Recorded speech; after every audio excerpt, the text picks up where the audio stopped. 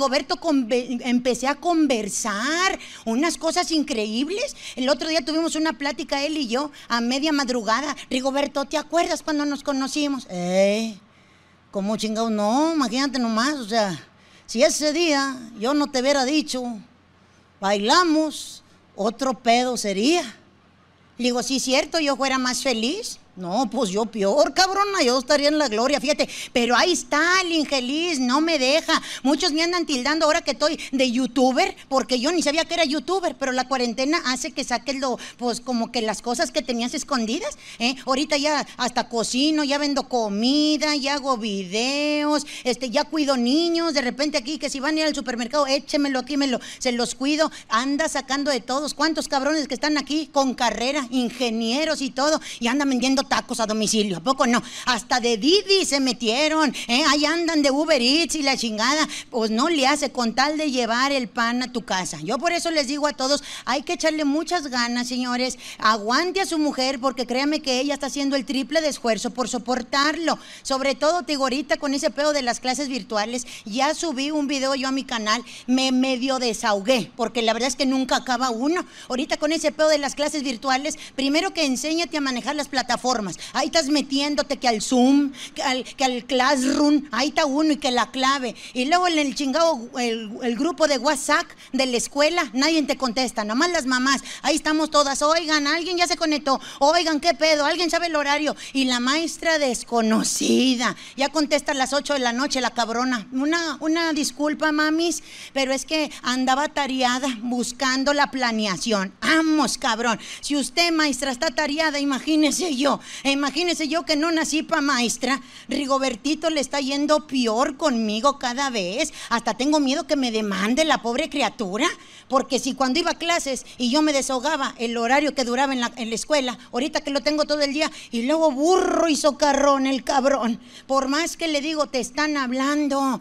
Pone allí un fondo de pantalla, porque los huercos ya le saben a todo eso. Cambian el fondo, le están haciendo caras al profesor, bromas. Maestro, no se Maestro, no se ve. Y el pobre hombre que ni le sabe la chingadera, ya me oyen. Y risa y risa las criaturas. El otro día sí le metí un chingazo a Rigobertito. Le dije, no estés jugando con tu maestro, oye. Estás viendo que muy a huevo se está acoplando y tú jugando que no te mira. Es que es divertido, ma, divertido. El divertido es el chingadazo que te meta, cabrón. Si sigues jugando así. Rigoberto se metió, ey, déjalo. Está en sus clases el niño. No lo hagas pasar vergüenzas. Vergüenzas yo. Peor de vergüenza que lo hizo pasar él cuando salió en calzones atravesándose en la cámara.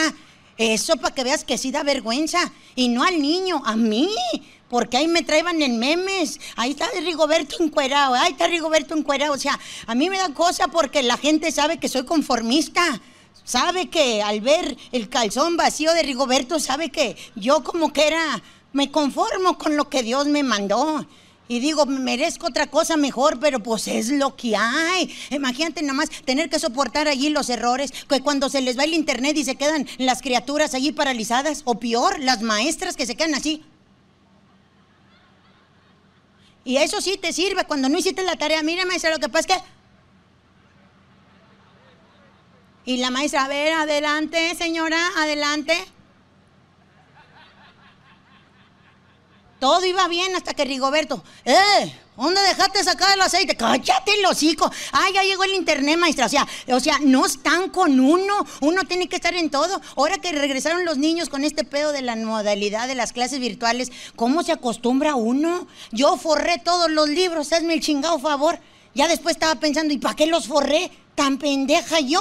Si ni siquiera la maestra los va a identificar, pues ya nada más con que le ponga Rigobertito, ya sé que es el niño, pero ahí estoy. No nada más tengo a Rigobertito, tengo a la otra niña, a, Yuridia Junior, que no se llama Yuridia, se llama Sarita, pero yo le digo Yuridia Junior. Ella ya entró a la prepa, o sea, es otro pedo también. Si no le entiendo a la primaria y al kinder de la más chiquilla, menos a la prepa, que, que sí, que, que- que hay que hablar con el vato, el director, que sí hay que hablar con quién sabe qué, con el auxiliar. Bueno, ando hablando con todo mundo, ya le dije a mi hija, oye, ¿y si estás interesada? O sea, si vas a agarrar carrera universitaria, si no, ¿para qué chingo estoy haciendo corajes? Imagínate nomás. Y Rigoberto me pedorrió que le quito la ilusión de estudiar a la niña. No, no le quito la ilusión, pero es que es mucho pedo, no le entiendo. Ahí anda uno, clases virtuales. Y luego también, buscando la manera de desahogarte, de entretenerte, ¿qué haces? Pues ahí andas hasta metiéndote a loterías. Mira, yo ya no sé cuántas chingadas transferencias de dinero he hecho a cada lotería de Facebook que me invitan.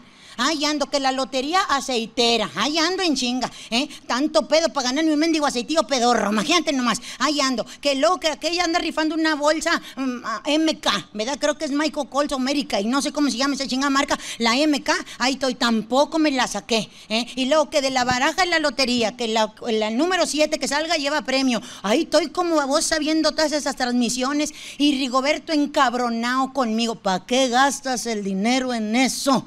Digo yo, cabrón, tú gastas en tus babosadas y nadie te dice nada. Digo, ahorita que te trajeron, muchos vatos no estaban de acuerdo porque es mucho gasto, está muy caro, va a ser un desmadre. Y luego si llueve y se inunda, luego, luego de malvibrosos, de malpensados. ¿eh? Ah, pero si aquí hubiera venido un comediante, hombre, que le echa a las mujeres, el vato, vamos, vamos, ya se ocupa, ya se ocupa este pedo de, de salir, de relajarnos. Pues sí, sabe que nos va a madrear el vato a nosotras viene gustoso el ridículo, ¿eh? Pero vaya, vamos a tomarle el lado amable. Aquí estás, ¿eh? Te digo, en la comodidad de, de tu coche, ¿verdad? Te puedes entretener, señora. Ahí le puede estar dando un masaje ahorita hasta a su mujer. Pero no, se les va el pedo en otra cosa. ¿A poco no? Me están viendo a mí pudiéndole agarrar su piernita a su mujer, como cuando éramos novios. ¿Te acuerdas qué bonitas caricias te hacían? ¿eh? Uno sentado y ya nomás sentías la mano en la rodilla y ay, hasta te daba el escalofrío por todo el cuerpo. Y uno de mujer decente, ay, ya, suéltame. suéltame la rodilla. Es que la tienes bien bonita tu rodilla. Nunca había visto una rodilla igual. ¿A poco sí?